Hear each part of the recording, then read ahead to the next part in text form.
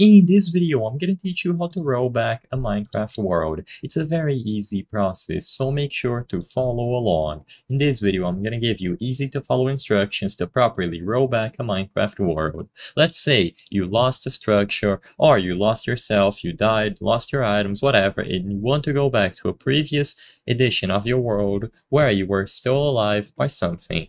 While it is possible to do this, there are some prerequisites, and the sad truth is that unfortunately, if you did not make a backup of the world beforehand, then you will not be able to get a rollback. So I just want to make that very, very clear. If you did not make a backup manually of the world before, you will not be able to do this. However, what you can try, and it might still work, is to first go back to the home screen of Minecraft. Go over to single player and select the world that you want to manage. Now go over to edit. You will see that you have two relevant options, make backup and then open backups folder. The first thing that I would recommend is that you click on this option. See if there are any backups backups here.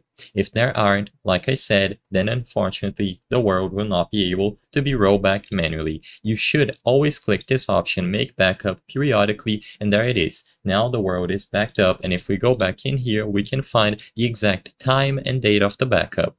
Now there is something else that you can try. Go back to the main Minecraft folder, so .minecraft, and go over to saves. Inside of saves, right click the world, go over to restore previous versions and see if Windows made an automatic backup. If it did, you will be able to choose from any of the previous versions here. But like I said in the beginning of the video multiple times, if you did not have any automatic or manual backups, then it is going to remain impossible.